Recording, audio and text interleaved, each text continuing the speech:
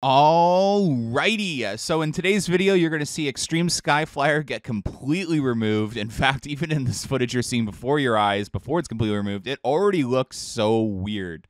So at around 11 a.m., um, most of the structure, the arch, was completely down, um, and the two little uh, drop I don't know what you call them. They arc away from each other. They they're the ones that pull you up and then you drop from there. Those towers.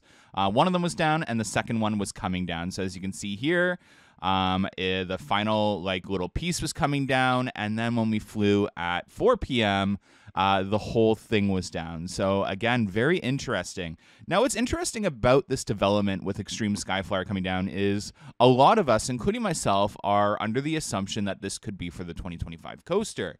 But what I find even more interesting is our observation of the backlot restaurant um, being kind of under renovation in quotations, if that is what's going on, um, is happening as well at the same time. So there is a small chance that this could be for a larger project that isn't a part of the 2025 coaster. Now, I will say um, it would be really cool to see some sort of amazing element come right up to the front gate and take up this plot of land. So that's fingers crossed what I'm hoping for with the removal of Extreme Skyflyer. But who knows? Um, I want you guys to comment down below what you think ultimately is going to replace Extreme Skyflyer. Is it going to be a VIP area? Is it going to be the 2025 coaster?